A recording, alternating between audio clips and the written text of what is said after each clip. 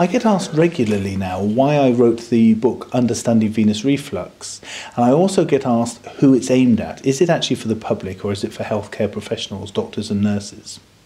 Well, the first thing, why did I write it?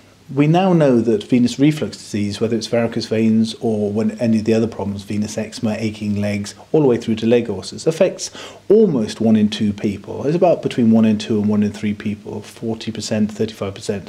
And with so many people in the world having that problem, really there should be a better public understanding of the condition.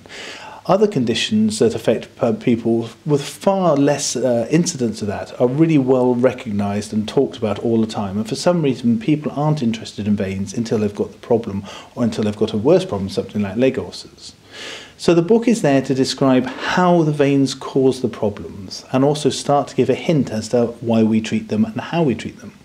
As to who we've aimed it for, it's aimed very much at everybody.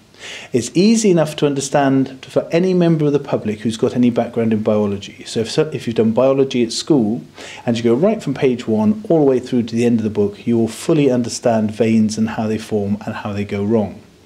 If you're a healthcare professional, if, such as a nurse or a general practitioner or even a surgeon, you'll be able to really skim through the first few chapters which explain the basics. But by chapter 4, 5, 6 onwards, you'll really be learning new things that, unless you read all the latest research papers, you won't really find anywhere else at the current time.